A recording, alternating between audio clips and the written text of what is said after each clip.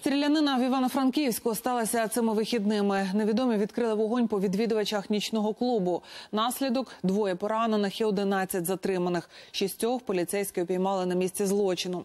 Після приїзду патрульних нападники намагалися відстрілюватися. П'ятеро спробували втекти на автівках. Їх наздо- наздогнали за кілька хвилин. У машинах знайшли з десяток автоматів і пістолетів. Поранені зараз у лікарні.